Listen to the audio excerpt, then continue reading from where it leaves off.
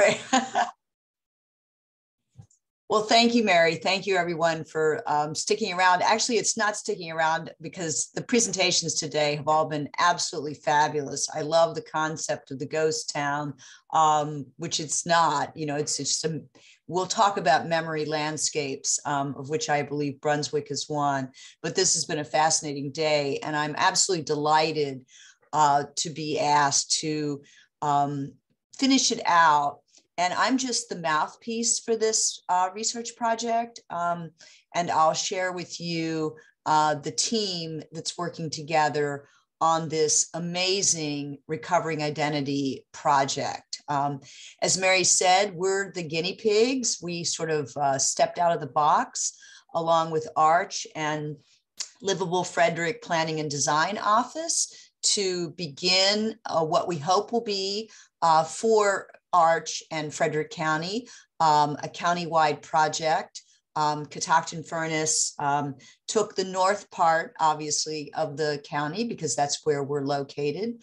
And for those of you who know um, the Catoctin Furnace Historical Society, you know that we are primarily, while we have a museum, the Museum of the Ironworker, we are primarily a research uh, historical society. Um, we've been involved in a number of research projects, um, of which recovering identity um, is one of several that are running uh, simultaneously. So I want to first introduce the project. Um, we're now in the first year of a two-year project, um, and we're in about month seven of the project. Um, it is funded by Maryland Historical Trust non-capital grant funds, as well as certified local government funds that run through Frederick County. And three organizations or three groups are working together on this project, which is a very important uh, point. Um, first of all, the AARCH Society of Frederick County, uh, then Livable Frederick's Planning and Design Office, and then finally um, the Catoctin Furnace Historical Society. So that tells you who we are. And now let's talk about uh, what we've been able uh, to do. Where is our research project? As I explained, we are looking at the North County. We chose five historic election districts. And while election districts change, uh, are, are not you know, stagnant um, or stable in the 19th century, um, we selected five um, that uh, from the 1850s um, and that is our project area. This makes it easier to do some of our primary documentary research because as we look through um, the um, records, we're within a single, or in this case, five um, election districts. So our project area begins at the Pennsylvania line, naturally, although I will uh, explain that uh, one of our project um, uh, study areas is going just a little bit over into Pennsylvania, but don't tell the Maryland Historical Trust or the CLG. Um, eh, to the east, um, we go as far as the Monocacy River, and then a little, um, you know, the election district um, takes us a little uh, uh, almost to that in the south southeastern part of our project area near Utica. We are including Utica in this North County survey. To the south, it's basically the Lewistown area, just a little bit south of that. Um, but Lewistown is our southern boundary. And then to the west, the Washington County line. So as you can see, it is the northern part of, the, of Frederick County. The two maps that you see on this um, slide are the 1858 Isaac Bond map, and you can see the five election districts that we are working in. And then you can also see our study boundary on a modern street map, because obviously when we're trying to find historic structures, we do have to drive modern roads, look at modern SDAT maps, and Google Maps and find where we're actually looking. Uh, because um, unfortunately, in Northern Frederick County, we're not in an 1858 uh, or 19th century landscape um, anymore. So that is our project area. And the rest of the recovering identity project areas would be similar in size, but they would be the eastern part of the county, the southern part, and then the southwestern part, which would be Brunswick.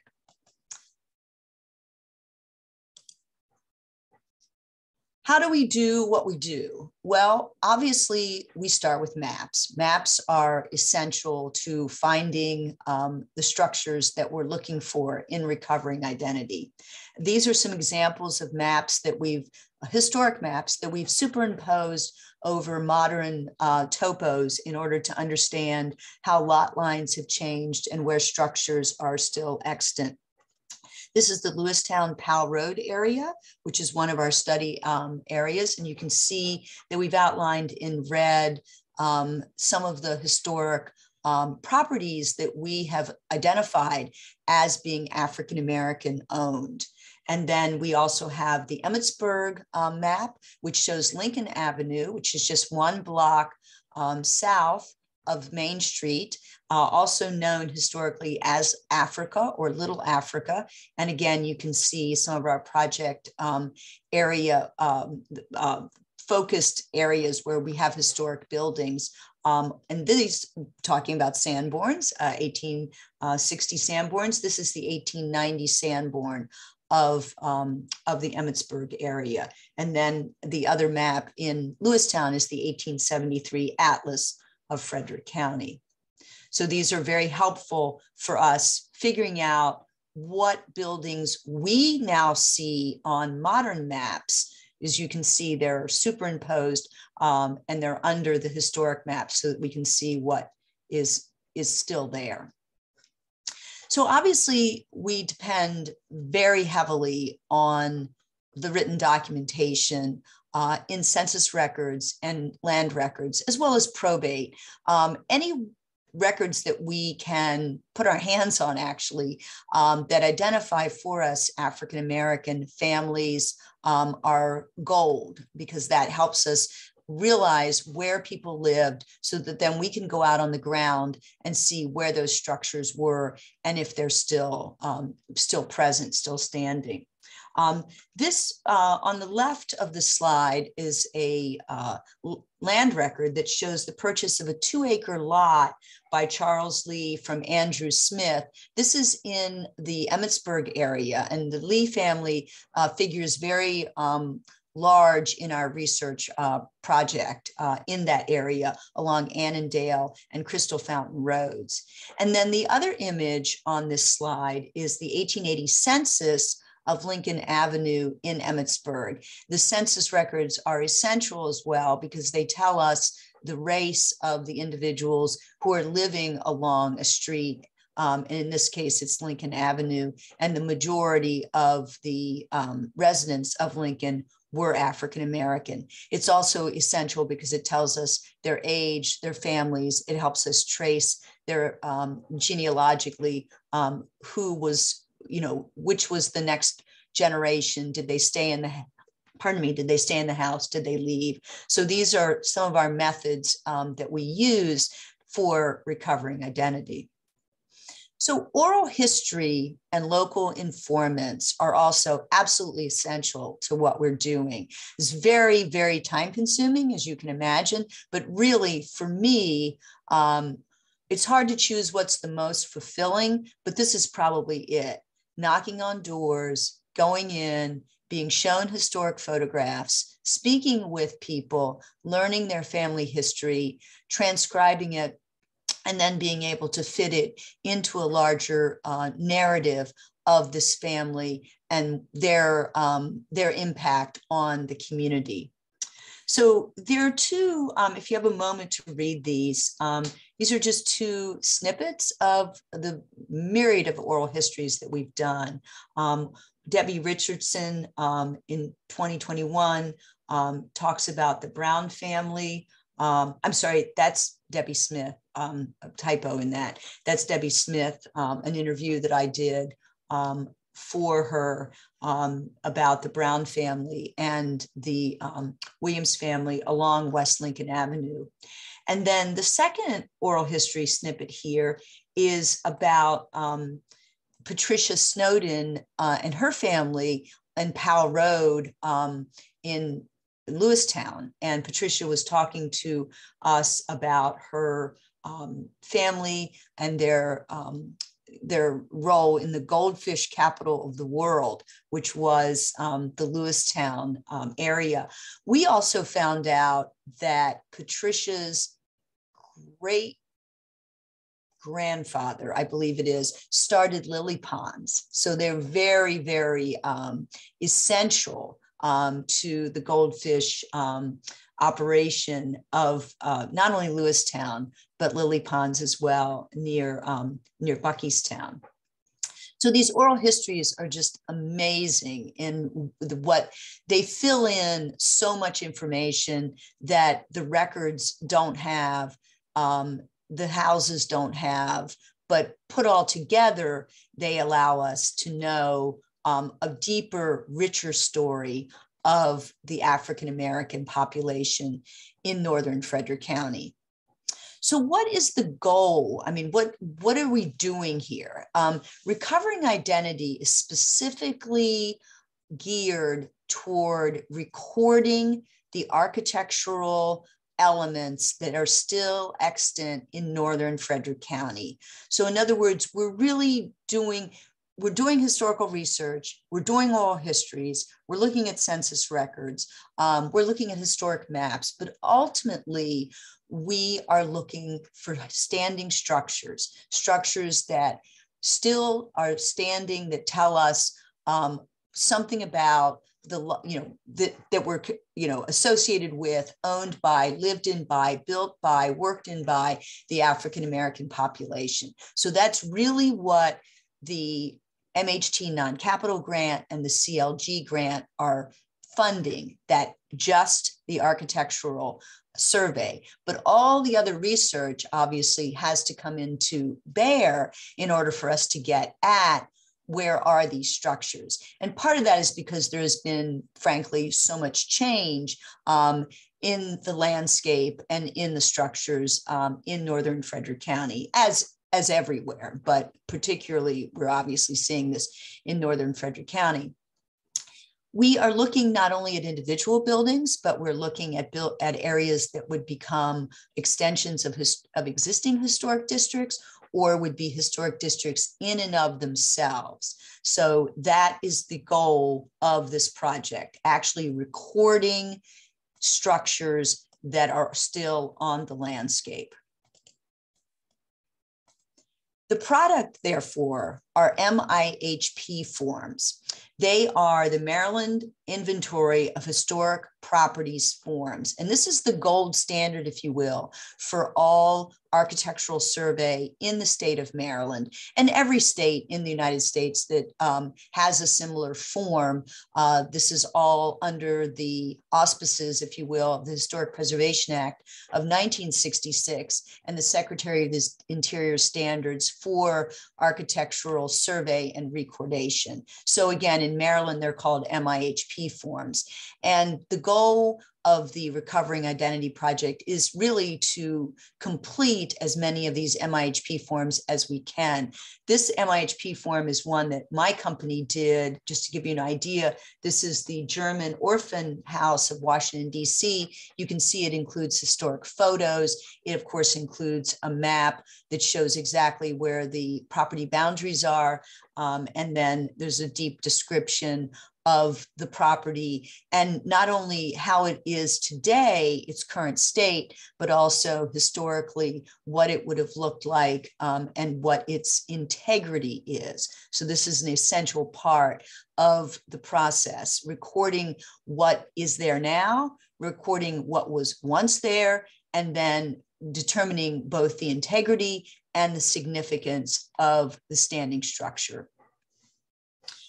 So, from the beginning with Recovering Identity, we have said that one of our products, in addition to the MIHP forms, will be a protocol that will um, inform the um, architectural survey that we hope will come after us um, in the rest of Frederick County. Um, and so we want to identify the best practices, the issues, the methods for identifying and recording historic properties associated with African American history.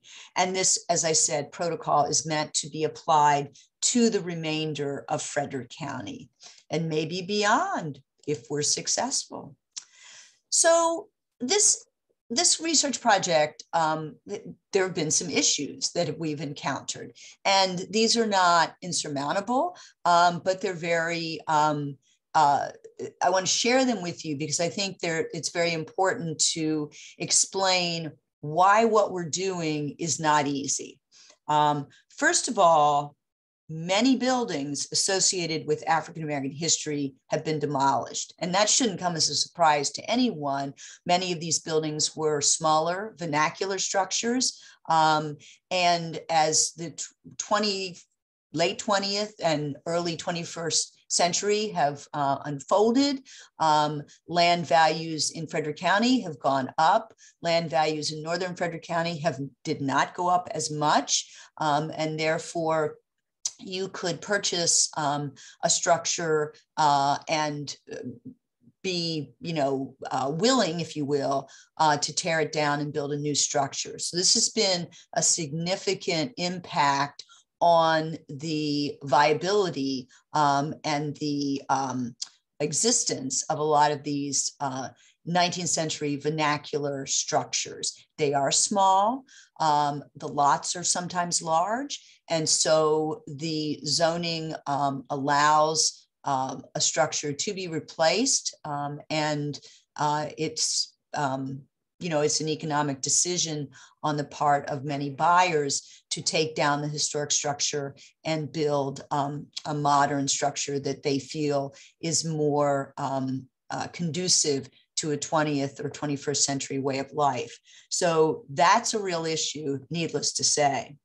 And buildings associated with African American history um, that remain have been highly modified. And again, this speaks to um, the uh, size of the structures, the vernacular nature of them, um, people wanting uh, great rooms or garages or they want to bump out this for a master bedroom or bump up the roof line for a rec room or another bedroom. And of course, these are all changes to a historic structure that, um, that create um, an issue with its architectural integrity.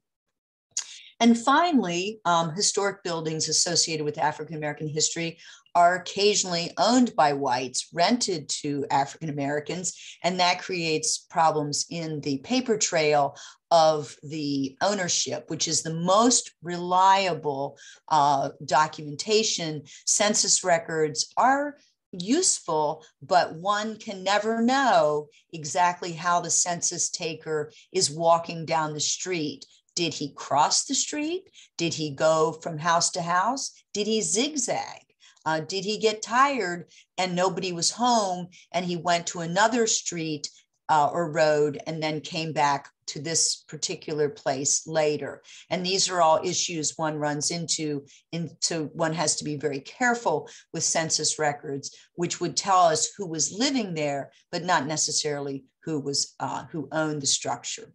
So those are some of the issues um, that we have run into and then I'm going to go into some details on these issues. So we were very excited. This is northern Frederick County, right north of Emmitsburg, um, in the area just um, below the, the, well, you can see the Pennsylvania line.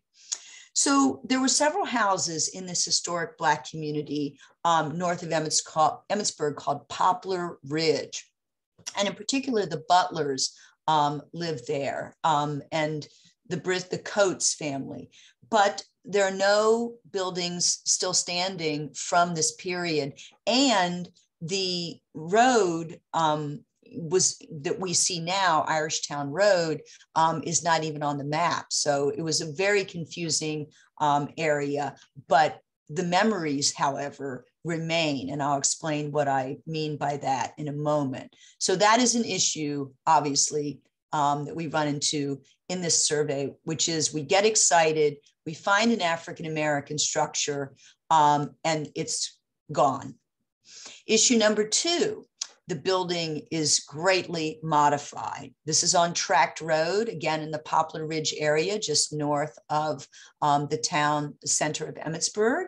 Um, and the current guidance for recording African American structures for National Register eligibility, which is, of course, what the MIHP form follows, is that if modifications were made by anyone other than the Black descendants of the, the, the builders or the owners of the structure, the building lacks integrity. So again, this is this is the way. So if a black family owns a structure and they make the modifications, the modern, you know, the bump out, the this, the that, the building, because it's still Black owned at the time the modifications were made, can retain or does retain its architectural integrity. However, if the building has moved from the ownership of the African American um, family to white ownership or ownership that is not Black, then the modifications uh, that are made render its, its uh, integrity um, moot, basically. It takes away its integrity. And I have some things to say about that very narrow um, definition of, our, of integrity, um, but I'll save those for a moment. So here's another example of the um, integrity loss, quote unquote. This is 9005 Crystal Fountain Road. This is in um, the Poplar Ridge um, I'm sorry, this is in the Pleasant View um, area of um, outside of Emmitsburg. Um, the photograph on the left is the structure as it appears now. The photograph on the right is the structure as it appeared when the current owner, who is white, purchased the property about um, 25 years ago. This is an African American structure. Um, and when you go into the house, um, and walk through it, the core, that log structure is intact. And I mean fully intact. It is, it is within that stone um, structure. The stone structure has a roof line change. It has a bump out at the back. Obviously, it's been um, facaded with um, with the stone. Uh, there have been some window changes, but that when you go in the house, that log structure exists. And so, to me, as an archaeologist, I'm not an architectural historian, but to me, as, as an archaeologist, we see artifacts that are modified. As a matter of fact, that's one of the things we say that we study cultural objects that are either made or modified by man. And so for me, this modification is not a deal breaker for integrity. Um, and part of that is because of the scarcity, in my opinion, of these African American structures. Um, but this is a perfect example of what we um, have run into in our recovering identity. And another issue that has come up is ownership. So along Annandale Road, which is just uh, if you go to Mount St. Mary's and um, go behind um, the the dorms, turn right and skirt the um, bottom uh, or the the toe, if you will, of the mountain. That's Annandale Road. It's called the Pleasant View Community. This is very much an African American, traditional African American community. Um, and the historically, all of the adjacent property owners to this lovely chestnut log house, which is undergoing restoration, are Black. But this house was owned by whites. But we are still pursuing this information because we think it's possible that these were Black tenants in this house. Every other building along Pleasant View, along Annandale and Crystal Fountain Road every other person was African American. So we find it, um, we, we want to see if it's possible that while this property wasn't owned by an African American family. It may have been inhabited by an African American family. So the historic Black communities of Northern Frederick County that we've surveyed so far are, of course, in the Emmitsburg area, the West End, which is Lincoln Avenue, the Hampton Valley Road area. Um, this is really interesting because Hampton Valley, I mean, Hampton Furnace predates Catoctin Furnace. The enslaved from Hampton Furnace were, um, uh, well, may have been moved to Catoctin. Certainly, there was a lot of back and forth between Hampton and Catoctin. Hampton, of course, being 15 years earlier than, um, than Catoctin. Um, and then in this area of Pleasant View and Poplar Ridge, the African American communities that we've located um, Pattersonville, which is up um, in the colliering um, and wood cutting area above Catoctin Furnace in the what we call the Greater Furnace Lands, and then the Powell Road area of Lewistown, very much an African American enclave, and then the area around Utica. So those are the surveyed areas that we have um, we're looking at so far in this um, in this project, but these are not the only areas. This is just what I'm going to talk about today. So I mentioned Irishtown Road um, above Emmitsburg, right on the Pennsylvania line. And interestingly enough, we realized that we had, uh, through oral histories, um, African Americans living on Irishtown Road, but we couldn't even find Irishtown Road on historic maps. And we figured out why that is. It was just, um, it was basically a road trace that was named later but the oral histories have told us that it's the ancestral home of the Butler family. This is an African American family of Emmitsburg, including Abe Butler and Tom Butler.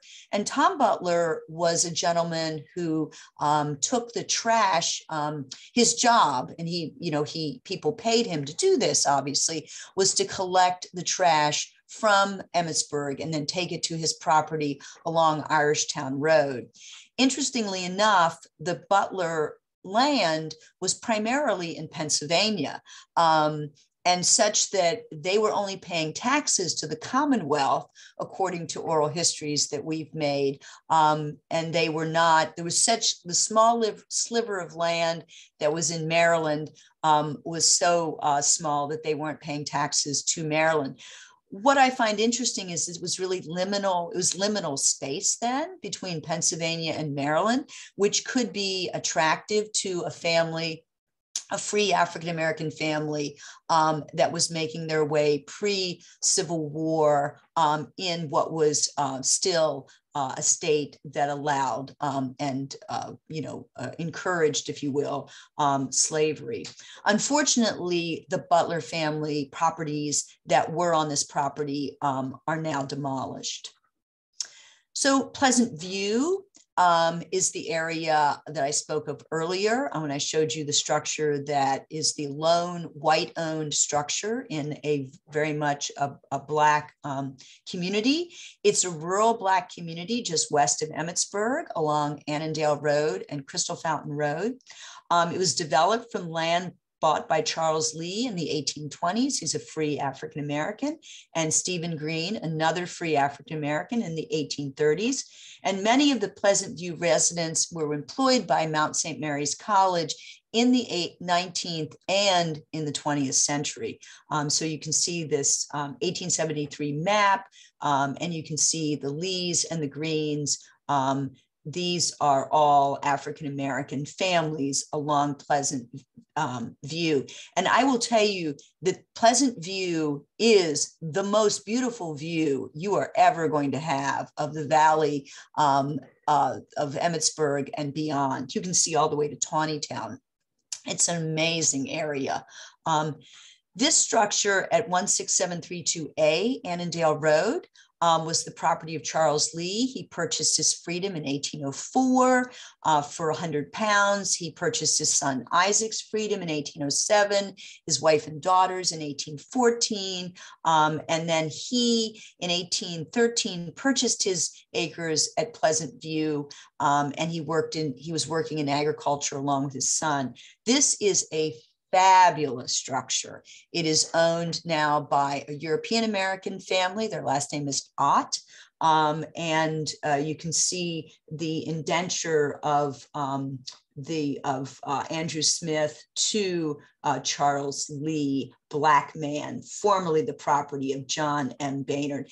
This is a double log, double stone house. It has two front doors. Um, unfortunately, right now it's um, vacant. Mrs. Ott, who lived here um, until she went into a nursing home, um, was uh, still was using uh, an outdoor, you know, an outhouse. Um, there is a spring in the back as well. Um, and we're hoping that the family that owns it will, it does have a good roof on it. It has a standing seam tin roof. So it's not in, in any grave danger. Um, you know, a, a, structure like this can can stand with a good roof. It can stand for years um, because it is a stone structure, but it is just a gem, and it is absolutely African an African American structure um, in uh, along Annandale Road. And right across Annandale Road, um, looking again, um, you can see the view off to the east. Um, is 16731 Annandale Road, another Lee property, but also the Butlers, the son of Henry Butler.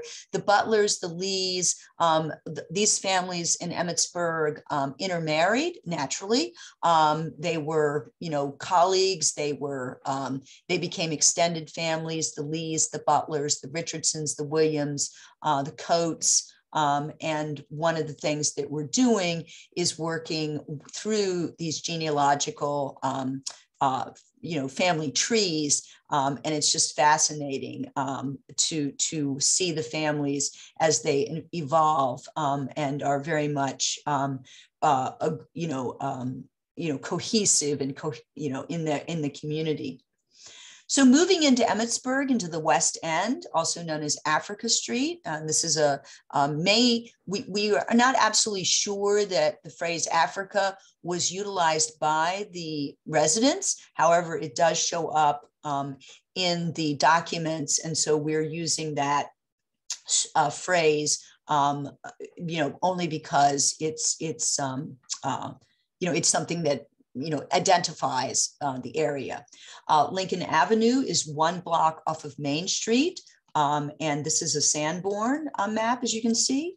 So what we've been doing here is looking very closely at this string of African-American um, structures that line Lincoln Avenue. This is the property of Peter Brown in 1870. He was a 73 year old laborer living with his daughter in law and four grandchildren. This is a very interesting structure. You can see that the windows have been modified. There is a door here that has been modified. It is gable facing. Um, I mean, street gable facing, which is very unusual, but we also have an oral history now that's telling us that this was not just a dwelling, um, but that it was also a shop. Um, so that's 413 Lincoln Avenue. 415 Lincoln Avenue is the home of Debbie Smith on the west side. Unfortunately, no longer extant was a Lincoln School, an African American school from 1869 to no later than 1902. Um, and then next, is 437 Lincoln Avenue, the property of Marie Williams. She actually lived on Old Frederick Road and moved here when she was 10 years old, still lives there. The Williams family purchased this property from another African American family, the Brown family. So I'm going to go through, I'm, I'm afraid I'm going to go over time here. So I'm going to go through some of these relatively quickly but um, this is that's our some of our lincoln avenue research and i'm going to go back to lincoln uh, in just a moment. Also in Emmitsburg on West Main Street, we have this very intriguing property that never looked like a dwelling, as you can see. Um, but this morning in an oral history, um, I found out that um, the family that owns it now believe was told when they purchased it that it had been an African American school. We do know whether that's true or not, and we have to get to the bottom of that. It was owned by Hetty Parker and Isaac and Gertrude Downey, uh, all three of whom at different times first Hetty Parker and then the Downeys. All of the, da- the Downeys and Hetty Parker are African American. So um, yet another structure than what we've been able to find in Emmitsburg. So there are other historic Black spaces in Emmitsburg that we're researching. Um, obviously, the colored school that has apparently has moved or did move uh, because in 1902 we have newspaper articles that tell us that the old school um, had become dilapidated um, and was no longer being used. There is a Methodist cemetery. It's now the site of the municipal swimming pool.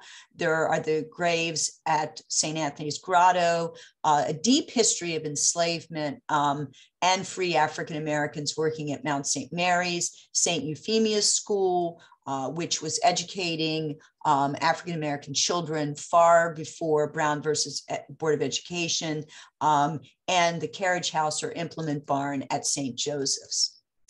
So the lost buildings on Lincoln Avenue um, are the free colored school that I told you about a moment ago, beside um, um, the um, Debbie Smith's house. And then the colored ME Chapel, um, which may appears to have been a white church, then later possibly a colored church, although um, this map, we haven't been able to corroborate this information. This map says that it was colored, but we're still working on that. But then also look at this, the iron jail cage. Now, given that Lincoln was the African-American um, community of Emmitsburg, it's chilling that um, the town put um, a jail um, adjacent to in plain view in a sort of panoptic control situation, if you will, to the African American community on Lincoln Avenue. The Lincoln Avenue Cemetery, now under either the swimming pool or the park, um, we know from this, um, uh, this clipping that while John Constant was not buried there because his wife changed, his widow changed her mind at the last minute and had him buried at Mount St. Mary's, but his mother was buried there. His aged mother uh, was, when she was called to rest, she was put in the Lincoln Avenue Cemetery. We have been asking everyone we can find and looking everywhere we can find for information about what happened with the movement of these graves when this pool was built in 1973. Um, and thus far, we cannot find anyone who's been able to tell us what happened with these graves. So we want to crowdsource that question and see if anyone has a memory. We tried an ex-mayor of Emmitsburg, but unfortunately found that he was deceased. Uh, we've talked to the current mayor, of course. Um, so this is a mystery. We really want to get um, some more information about that cemetery. Rick Smith did this amazing map of the St. Anthony's Grotto Cemetery. Um, what he found was that when you go into the grotto, as you're driving, uh, you park your car and you walk toward the visitor center, which is at the top right of this photograph, there is a row of African Americans buried there. They're all grouped together in that row. Um, the cemetery was established in 1806. Um, and then uh, it has many Black families. And of course, the Lees who lived on Annandale Road are buried here, as well as uh, butlers and other um, African American families from both Annandale, Crystal Fountain, um, and uh, Irishtown Road, as well as um, Lincoln Avenue. Um, so we've argued that this is, in fact, part of the architectural, um, you know, or should be, I should say, part of the architectural um, uh, survey. Mount St. Mary's University has a long history of enslavement. Um, they had enslaved people that were conveyed for term service um, as tuition payments. Um, this particular cabin, which is known as the John Hughes cabin, was moved to a location just below uh, the cemetery and the grotto. It's very likely that, very likely, that it was built using labor of enslaved persons. Um, and uh, we um, will be surveying this, this as part of our, um, of our survey. The structure's been moved, but its integrity, um, in our opinion, remains. St. Euphemia's School and Sisters House in Emmitsburg. Uh, oral history tells us that the Black children were taught in a room above the kitchen. They also had to enter the school from a separate door. They were not allowed to enter through the front door.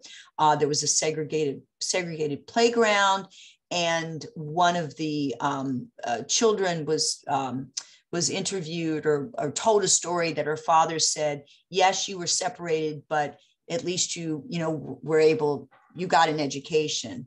Uh, an oral history that I did about a week ago um, said or, or included um, the information that the the African American students um, were appalled by the the condition of their outhouse. Um, and so they whitewashed it, they cleaned it up and they whitewashed it. And it was so clean that the white children wanted to use their outhouse. Um, so the carriage barn or implement barn at St. Joseph's Academy um, is connected to James Augustine Briscoe. He was employed as a teamster um, at St. Anthony's Academy. Um, he died in 1897, and it was through his obituary that we were able to figure out his connection to the structure that is the carriage barn or implement barn.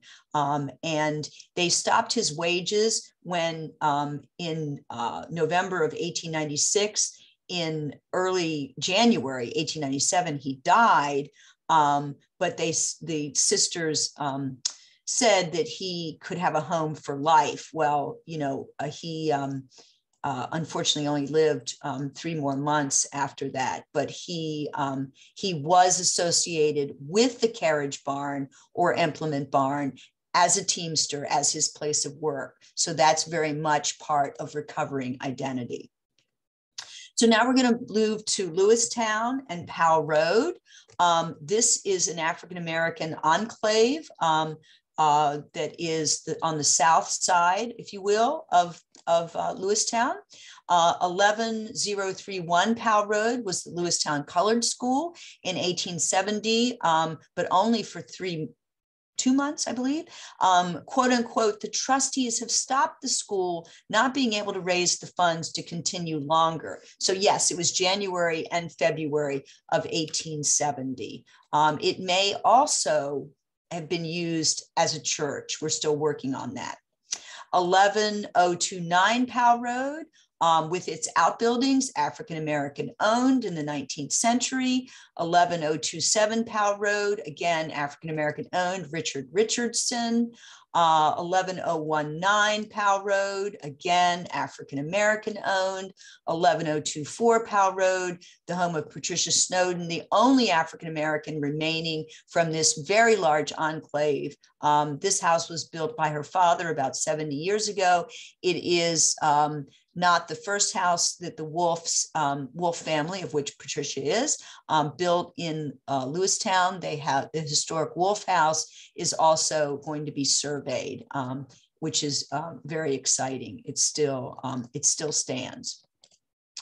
Uh, there's also a burial ground along Powell Road. Um, Richard Richardson, uh, who owned the house across the street, um, also um, owned this burial ground in 1861. Unfortunately, um, there does not appear, there, there are no stones extant at this point, but from the deeds, there's no question about the presence of this African American burial ground.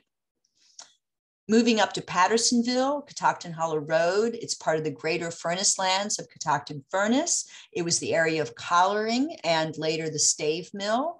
Um, and you can see some of these uh, areas that were African American owned uh, historic properties on our um, uh, along Catoctin Hollow Road.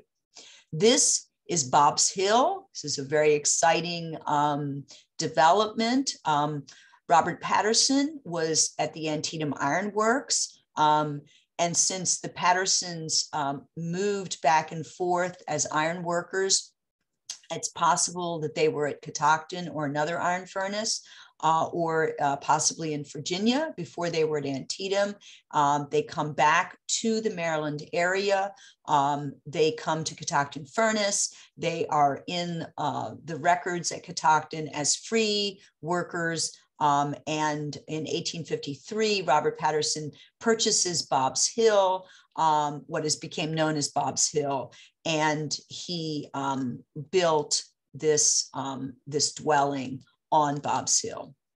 Oral history indicates the property was a peach orchard. The Patterson family grew, packed, and sold peaches. Um, and they may have used the first floor of the, what is what is the dwelling for that as well as living on the second floor. There's also a second dwelling foundation, or it's actually, I wouldn't characterize it now as actually a foundation. It is a pile of fieldstone, but oral history is telling us that it was known as the Old Patterson Place, which indicates that more than one family was living on the property. Not at all surprising. It's a very large tract of land. And uh, the oral history has also corroborated that the structure that we see was extant when the Patterson family owned the property prior to its purchase in 1903 by the Willard family. Um, the Willard family, who is white, lived there. Um, Alice Willard lived there for 97 years, and it's still in the Willard um, family. Um, and they are thrilled uh, that we are doing this research about the Pattersons. Uh, going down to the southern part of our project area to Utica, we have two notable properties that have cropped up in our research, one of which had already been looked at by um, Carrie Svedra and by Frederick County, and that's the Snook Farm. It, ins- it had um, enslaved laborers before the Civil War and then employed free African Americans afterwards, including Calvin Wolfe, who is um, an ancestor of Patricia Snowden. And then secondly, the Sands or Sanders Farm on Lenhart Road, a lovely stone structure. Um, Mr. Sanders, um, John Sanders was Black. He assessed at a value of $3,600 in the 1870s, which was a very high value. Um, we don't know, we've lost the Sanders family. We don't know where they went when they left Lenhart Road. So again, crowdsourcing information. If anybody knows where the Black Sanders family went, um, they were obviously very well to do, um, but they left the area, uh, as so many did. The Snook Pitzer farm, Calvin Wolfe was a blacksmith and a farrier. And as I said, he's an ancestor of Patricia Snowden, who is uh, still living on Powell Road. Uh, there were enslaved in the census and people um, were working there. Patricia remembers going there as a child with her grandmother. Mrs. Pitzer would call her grandmother and ask her to come and and cook, prepare meals when Mrs. Pitzer was having large family gatherings or parties. And Patricia remembers going there um, as a child many times. And so, last but not least, talk about Catoctin Furnace. Of course, there were enslaved persons there as the principal laborers from 1776 till uh, the 1840s. Um, some enslaved were called out by their jobs. Uh, for instance, Collier Sam, Wagoner Henry, Farm Sam, Mill Sam, Waiter Bill, um, and of course, the labor force was gradually replaced by wage uh, laborers.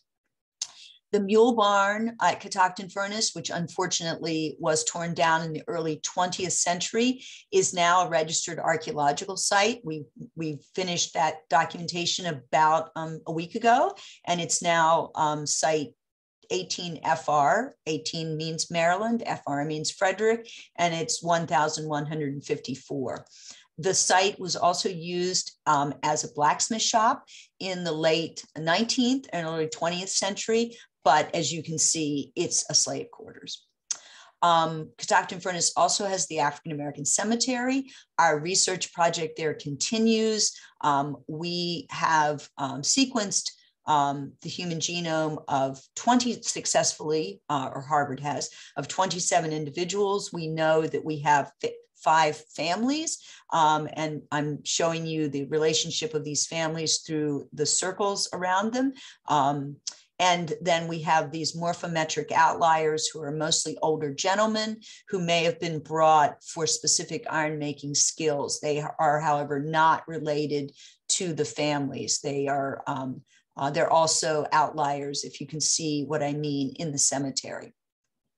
Um, this is one of our forensic facial reconstructions. This is a 35 year old, approximately 35 year old mother. Um, she is buried right here with her uh, infant son.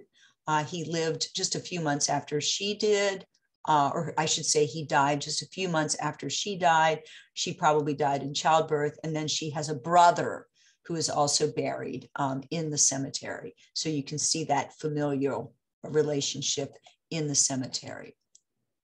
Catoctin Furnace also has the Ironmaster's Mansion in Auburn. Enslaved workers were in those structures, um, both living in the house, in the basement, um, and then Moravian diaries talk about um, a servant living at Auburn who was so um, his back was so uh, his backbone was was was uh, so compressed that he was bent double. And we actually have a gentleman in the cemetery who fits that um, physically fits an older gentleman who physically fits that description so I want to talk about Thurmont. Um, Thurmont has, we have found a colored school. Um, it, un unfortunately, it's no longer extant, but at the corner of East Main and Carroll Streets, um, the Catoctin Clarion in 1882 talks about Mr. Leonard Picking, Picking, who has opened a school for colored persons on the property um, uh, in a building attached to the property of Mr. William J. Black of East Main Street. Um, and they have, it says further that they have on their opening day, they have quite a few colored men, women, and children um, who are coming uh, to the school. Um, unfortunately, we have almost no information about that school other than the fact that it did open and it did exist. In Thurmont as well, we have Amos Tupp Lucas. He was a barber. His barber shop, unfortunately, the building no longer stands, um, but it was at the corner of Church Street and Main Street in uh, in Thurmont. He was born in Virginia, but came with the Henshaws, who were at Catoctin Furnace, um, and then he died in 1917. Um, and as I said, he was a barber. So we don't have a structure associated with Tup, but we do have his presence um, in the landscape. Miss Hannah Hammond, I remember her. She went to the Episcopal Church at Catoctin Furnace. Um, and I love this story. She, when the Secret Service men came with one of the presidents, and I don't remember which one, Hannah had a place. She always sat next to the organ, um, and the the uh, Secret Service agent was in her chair, in her seat, and Miss Hannah um, said, Young man, that's my seat. And he moved. Um, she lived on Summit Avenue. Um, she worked at Camp Louise and Camp Airy, and she gave my mother her doll because she knew my mother would see that it never went back to the family that um, had um, given it to her, and that had been the family that had enslaved her parents. And so um, it's now in the Thurmont Historical Society where it belongs. Um, so Miss Hannah um, was born about 1879, so just after the revolution, uh, just after the Civil War in Virginia. So we have a lot more research and survey to do. We're just, as I said, seven months into a two-year project. Uh, had a large number of African Americans um, uh, before the big fire in the early 19th century. Um, uh, I mean, early 20th century. So we have to uh, work on uh, Mount St. Mary's University, again, many enslaved there, St. Joseph's Academy, and then workspaces on farms and within towns throughout the northern part of the county. So this project is going beyond recordation of architectural resources because the, it really is a recovering, it's a recovery of a memory landscape. Um, and while the standing structures, while they're modified, they still retain, in my opinion, significant information while they may not rise to the level of integrity that we would generally um, uh, present um, for a standing structure. My point, and the you'll hear me saying this a lot, is that these these structures their integrity and their significance remains in their relationship to the African American population. So, obviously, this is a group effort, to put it mildly, a huge team. Um, I'm just, as I said, the mouthpiece for these amazing researchers. Um, I've told you where the money is coming from, and that's all going to the consultants. Um, John Murphy, the architectural historian, Edie Wallace, the historian, uh, Alexandra McDougall, the uh, critical content reader.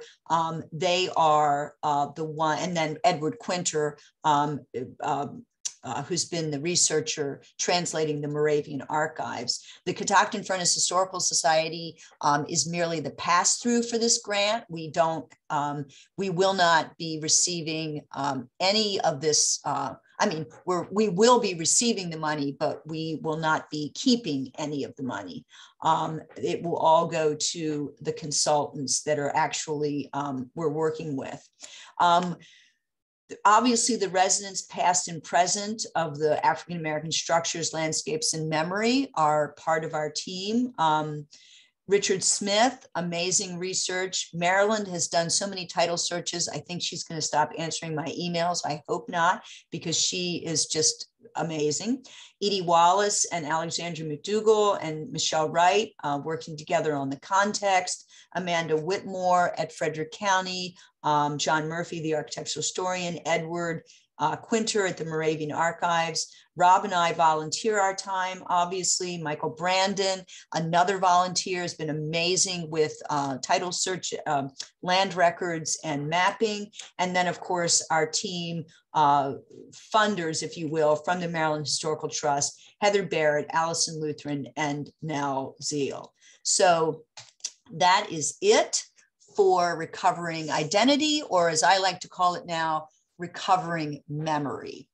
Um, if you have questions, I have not been watching the chat because I've been focused on the slides, but I'm happy if someone actually wants to maybe read the questions or I can scroll back. I hope I haven't gone. No, it looks like I actually didn't go over. I have three minutes, but I'm sure we can take a little longer. So no, thank you. you. You are very good, Elizabeth. Yeah, if you we only have one question so far, I'm sure they're going to come running in. Um, if you probably shut down your screen, you might be able to see the um, chat, but also I'm happy to read it to you. Okay. We'll also have our people come forward. Okay, I can scroll back. Um, all right, so let me just go. Um, Renee is your first question. Okay, I see Liz. Let me go back to Renee then. Pardon me. Um, no, I see Liz. Can you speak a little about the documents in the Moravian archives? Yes, um, we um, have been translating from Old German um, the diaries and letters sent uh, from Graceham um, and recorded at Graceham by Moravian uh, ministers from the 18 uh, from the 17 um, approximately 1770s uh, 1768, I think is the earliest one, right up through about 1850. Um, they contain um, more information than we had ever gotten from any place else about the African Americans, not just though at Catoctin Furnace, which was our principal um, area of interest when we began this, think because we knew the Moravian ministers were coming to Catoctin, but for instance, we've captured every mention of African Americans in these diaries, as well as um, things like disease or um, epidemic or weather, uh, severe weather, uh, anything that will tell us about you know, in sort of broad brush, more general uh, information about the northern part of the county. And interestingly enough, for instance, we're getting, we've got uh, information about the Key family, the Bruce family, you know, Fran- uh, that's as in Francis Scott Key, and they're enslaved, and the Bruce family, and they're enslaved. And while they're in Carroll County now, of course, or they are in Carroll County, they were very much part of the Graceham um, uh, you know, sort of circuit, if you will. Um, so the Moravian uh, documents, we um, are incorporating that information into this research, um, and ultimately will be um, uh, will be you know using them for additional research. Um, they didn't go much into Emmitsburg, interestingly enough, um, because the Catholics were already there. Um, and every once in a while, they have something choice to say. Um, however, the place that was the den of iniquity was Creagerstown. And since I'm from Creagerstown, I can say that it was apparently a wild place.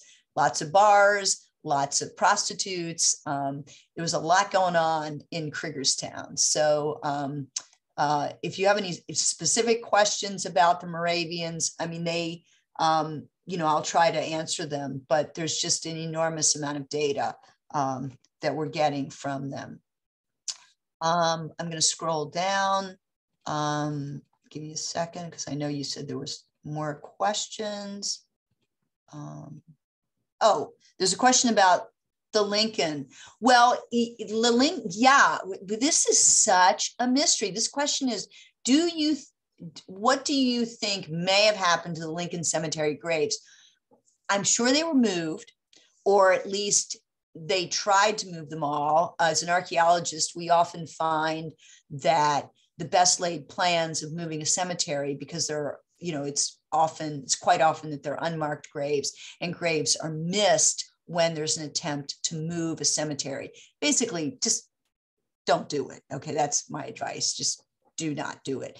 But they, we can't, we, we don't know. We, we need, um, and, and even our informants who live on Lincoln Avenue um, don't know what happened. They want to know too. Um, it's, there's got to be data somewhere about what happened to those graves, where they were moved. Um, but we don't know. So stay tuned on that. But again, that's what I mean about crowdsourcing. If anybody can help us with these um, questions, we would love to um, to hear from you. Um, so the Black community you mentioned in the Catoctin Mountains, in the indication, yes, I wrote a paper on the school. There's absolutely a school. Um, I just didn't include that. Uh, there's so much data, I couldn't include everything. There's a mulatto school on Catoctin Hollow Road, and I have extensive research about that. Um, so um, it was started by the Pattersons, not surprisingly. Um, and when the Frederick County um, school system was giving them a hard time, because they were using the most wood. And, you know, it's like really, they're the highest elevation in the whole county. Of course, they're going to be using more wood than other people, but they were, you know, bitching and moaning about the cost of the school. And finally, the Pattersons left and they went to Pennsylvania. Um, and, you know, I mean, I, I think one of the things we see in this um, in this research is that um, about after 1910, give or take, um, you know, we see just um, around Emmitsburg, we see state families staying, some families staying, but in most of northern Frederick County, people are are leaving. African Americans are leaving, and you know, we we before that we see these stable these these enclaves, churches, cemeteries, schools, and then we see people leaving. Um, and, you know, by about 1910, with few exceptions, the biggest exception being um, in Emmitsburg, um, there people have left. Um, someone's asking for the address on Crystal Fountain, and I believe um, I'm not sure which structure. I assume you're asking about the structure that I showed you that is the um, log structure underneath. Um, and um, we have several, we actually have several structures on Crystal Fountain that are African American, all of which have been modified. But the one I showed you a picture of is 9005 Crystal Fountain Road. Unfortunately, it is not visible from, um, from the roadway at all.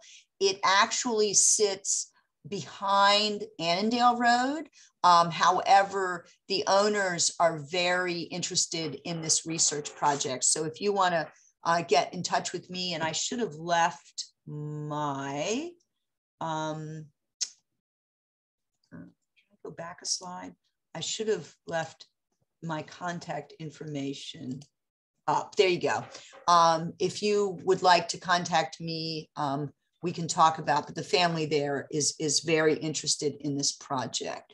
Are you also looking into Black memories uh, around Camp David? Well, we have not looked at the circle um, and the um, because I went to Catoctin, so there were African Americans at Camp David, um, and they um, uh, and I assume that's what you're talking about people who lived at the Circle and worked um, at Camp David. Um, that is going to be covered in our 20th century um, chapter, which Edie is working on right now. Um, uh, if you have any other information about um, uh, African Americans at Camp David, other than people who were working at the Circle. Um, if there's something about um, that we've missed or haven't heard about, we would love to know about that. Um, is there was there a black newspaper in Up County? No, not that we're aware of. Uh, did blacks own any property in Berlin? Oh, I think that's an older. I, I sorry, I must have gone back. My apologies. Um, uh, Camp David, Black News. Did you check with Emmitsburg planners for info on the pool? Yes, I did. And we have that. And what I've been told is that before about 2000, they weren't really very uh, judicious about keeping records, although there might be records. Um, I don't know, Mary, you might have something that we haven't seen yet, but Emmitsburg just really wasn't keeping a lot of records uh, in their town office. Um, uh, let's see if there are any other questions. Elizabeth, did you did you say, and forgive me if you did, what year the pool went in, and do we know what company? 1973. 1973. And why are you so sure they moved the graves? Well, God, I hope they did. Yeah, I hope so too. hey, you know what? Have you reached out to John Kennard in Thurmont? He's mm-hmm. kept, he's been here since 63. His dad took photographs of all kinds of stuff going on in the county. Yeah, maybe, maybe they, maybe they moved them because somebody, well, no, somebody would have, who was the cemetery? Who was the undertaker in, in, that's our next, and you know, I'm telling you, this is just, this project is so huge. Who was the undertaker in Emmitsburg? That's really who I have to talk to. I got to find the undertaker because that's probably, um, you know, who who would know. Elizabeth, I have, a, I have a list of undertakers that um, Keith put together for, uh, from Keeney and Basford that I'll forward to you in case it picks up. It may not go that recent, but also I was wondering, do you know at least what company it was that like had the bulldozer? no, we don't know anything. No. and, and, and, and, Mayor Briggs, Mayor Briggs, um, you know, suggested, which was a great suggestion, that I get a hold of the mayor that was uh, mayor then, but that was Mr. Robert Seidel. He, I got his widow on the phone, but he died, um, so he's no longer um, here. Um, but I, I just, and you know, and and again, Mrs. Smith and Mrs. Williams are like, we don't know what happened. The pool just appeared. Um, so I'd really find the guy with the bulldozer because he may have some stories to tell, unfortunately. Elizabeth, the, the key, I think, is if you look at that deed uh, to Hoke, uh, his, his pledge was uh, to, to reinter any bodies that they found based on where the trustees of the church, which were white trustees. So I think what we need to do is go back to any records that might exist relative to that church, which now exists up up on Main Street. Yeah, and I've called the church, but I haven't gotten I haven't gotten a reply. Yeah, uh, but but it it was to fall to them mm-hmm. to decide uh, uh, where uh, where those those burials, which presumably were not just black, No, no, they white- weren't. No, no, they, it was a mixed, it's definitely a mixed. Correct, correct. And Um, And, and my guess is directly south of where the church was or, or to the east of the church, which is still fairly far from, uh, from the pool. But I Mhm. think we need to go back to, to your friend who, or, or maybe it was a relative, but in any case, who remembers that cemetery and tried to get her to recall where exactly was that cemetery because she remembers a cemetery there. right, she played in it. Yes, it's Debbie Yeah, Smith and yeah. Marie Williams. They both played in it. They Yeah, played around That's how that's how we found the one in Lewistown because Mm-hmm. somebody remembered wandering through the cemetery.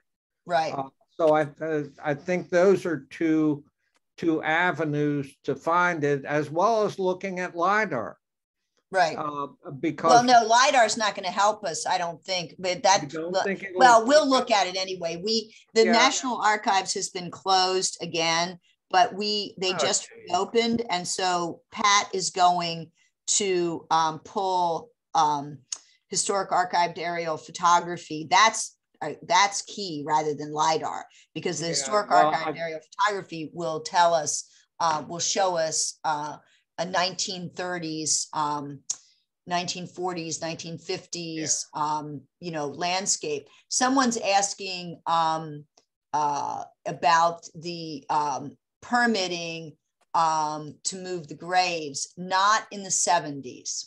No, no. No, no, they they just get moved. Uh, but i- it's got to be south of the location of the church or east and not that far because it'd be at the extremes of the white graves. Right. Well, at the corner, there was the Kai Holtz barn, and then there was, um, uh, I don't know, think it's that far. yeah. Well, this is, we're going to be walking Powell Road, or, um, pardon me, Lincoln Avenue tomorrow. So this is one of the things. Oh, we'll- really? Uh, Yes. Mhm. Let me know when you're going. I'll be there. 10 a.m. Lincoln Avenue, 10 a.m. We're, we're Oh, oh, okay. yeah, we're on a we're on a mission here. Um, so um, that's tomorrow. Powell Road is Tuesday.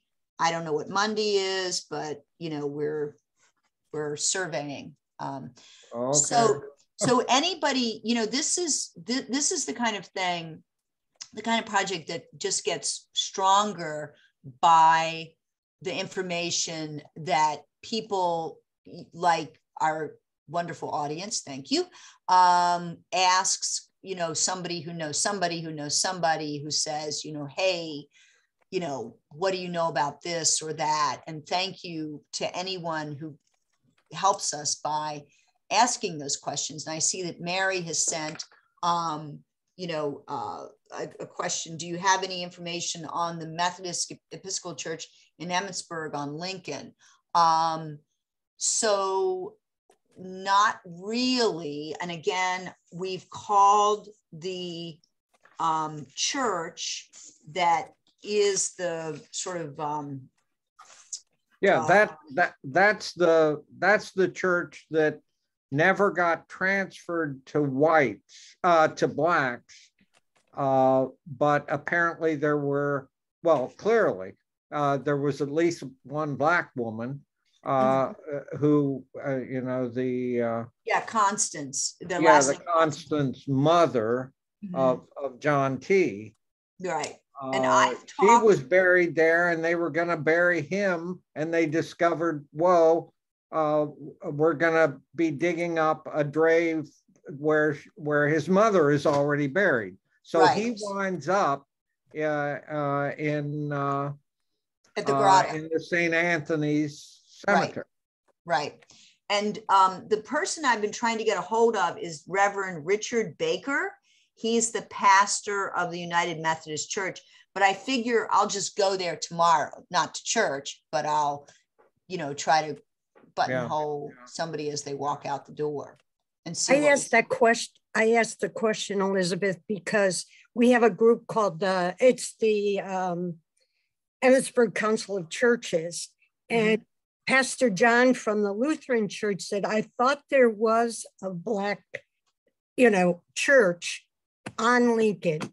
Um, we couldn't find out, you know, the placement or I couldn't find any history about it. So Well, we have have, we actually have, it, you know, um, have it on the, um, I, sh- there should be an easier way to do this. I'm not very good at this kind of thing. Um, we actually have it on the site. Um, uh, hold on a second. Give me a second to just come back here.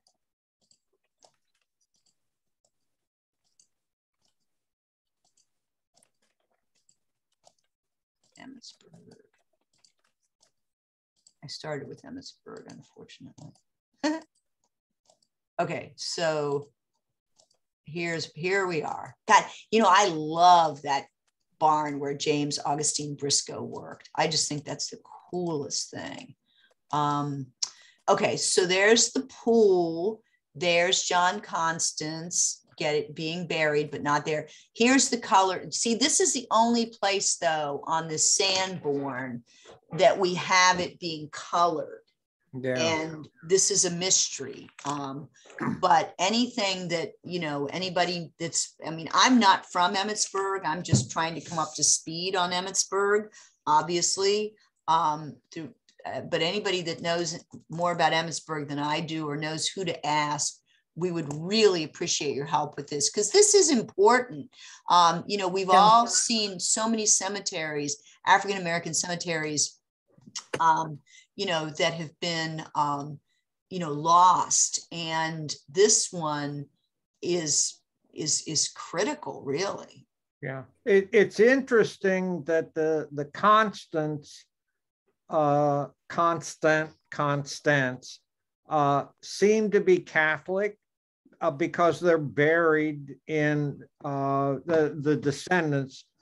One generation are are buried in Saint Anthony's, Mhm. and yet the mother was buried in a Methodist cemetery. Mhm. So, I mean, what's going on there? Mhm. I don't, I don't know. Uh, it, it was his, it was John T.'s wife who finally made the decision to have him buried, uh, not in the Methodist cemetery, but Mhm. in the Catholic cemetery. And then his children Mhm. uh, and his wife uh, are are buried there uh, along the road up up to the shrine. Mhm. so it it's it's it's really interesting. Um, well, anyway, It is, it is. But anybody, I mean, I so appreciate, you know, any help that that um any leads, you know, you know where to find us. Um it's ecomer at catoctinfurnace.org um, uh, or info at catoctinfurnace.org. And we would just love, um, you know, and, and it's the Camp David. If there's any information from the gentleman, let me scroll back up, who asked about Camp David. Um, if you have any information about, um, or Wendy, okay, sorry, Wendy, um, about, uh, you know, people that lived or worked um, at Camp David, um, that would be really, that would be really helpful. Yeah. Um, obviously it's 20th century, but we're looking, you know, obviously our, our research is going right up through the present, um, the present day. Um, and I'll try to find out who built that pool or who the contractor was. I need the, I, if, if they it's move the grave, that that both the Lee family, which was very extensive along Annandale, Mhm. uh, and the and Constance, for example, but there were Browns and and whatever uh, up up in Emmitsburg, that we have not yet found anyone either in in uh, adjacent southern Pennsylvania or the the southern part of the county who have any recollection so uh, you know again we we need to ask out and i've spent years doing it uh, Mhm. to the black community do you have any recollection uh, of ancestors uh, that that hail from uh, from the northwestern uh, portion of the county? Mm-hmm. There have got to be there. I mean, we know the Pattersons, the Pattersons and the Calamers, Calamans. Uh, they're they're in in uh, southern Pennsylvania, right across the border. We we we know that, uh, but we can't find uh, uh, descendants uh, of of these fairly extensive. Because if you go to Charles Lee, oh, grew a community up up north, up Annandale Road, and and uh, there were folks in Emmitsburg who are connected back down south. Mm-hmm. So there's got to be someone out there uh, who who's got some uh, family record, some uh, family remembrance, mostly uh, mm-hmm. of connection to that, and we just need to continue to reach out to to the the current community. Uh, think back, think back. What did Grandma say? right. Sort of well, the, the the family names, of course. I mean, there are many, but Coates, Butler, Williams, Richardson, uh, Lee, um, um, uh, um, Wolf. Um, you know, there there are so many. But I think this is the beauty of AARCH, the AARCH Center, the AARCH Heritage Center in Frederick, because yeah. they that will be um, the place where you know these families um, that are coming to the county and, and when the, the county does the other areas of the county, not just North County, but south, east, south, and southwest, um, you know, when when they, you know, have these names and people are doing their genealogical, um, uh, you know, connection back to Frederick County, um, they'll be able to go to AARCH as their, you know, as their sort of point of contact. Um, so that's really um, that's really exciting. One question that we have, if someone knows an answer to this, we're trying to figure out as we look at the church, the Catholic churches in Emmitsburg, whether they were segregated in the in the way and where people, the Moravians you know, one of the things that they say in the diaries is they quote this uh, an African American woman. Um, this is about 1790, um, maybe about 1795, and she's upset naturally because when she goes to church, no one wants to sit next to her. Um, and that indicates to us that without a doubt, frankly, there was segregation, you know, people were segregating themselves in the Moravian, you know, in at Graceham in the Moravian church. Maybe it wasn't intended by the ministers, but it was the reality in the pews.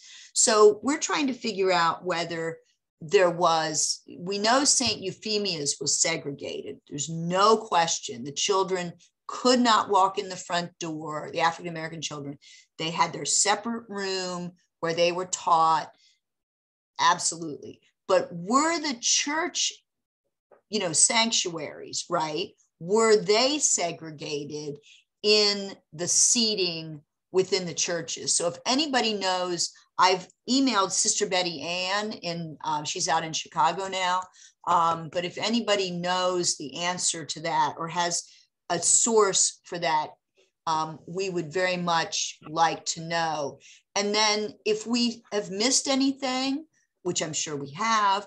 But if you know of a place in the northern part of the county where there was African American presence, um, you know, uh, either that they owned or they worked or they, um, you know, there was an African American uh, renting. Uh, for instance, down on Wilhide Road, we have a Mr. Butler. Um, unfortunately, his house is gone, but we know he was down there um, near Stevens Road on Wilhide Road, probably working in the mill. So that's a memory that we want to capture.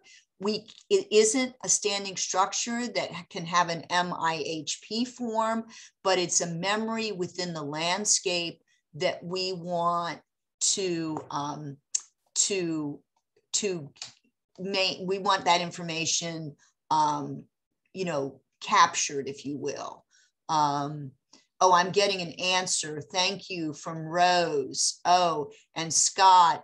Okay, so Scott is saying, I'm almost certain that the Catholic churches would have been segregated, but you might be best to contact the Archdiocese of Baltimore archives at St. Mary's University to confirm, find out exactly when that ended. And Rose is saying, yes, they were segregated inside the sanctuaries of other Catholic churches in the county. So thank you to both of you. And I will follow up with that. Rose, thank you for that oral history. That's really helpful. And Scott, I will follow up with that as uh, with that research as well. Okay. Any, any other, I'm sorry. Any other questions for Elizabeth?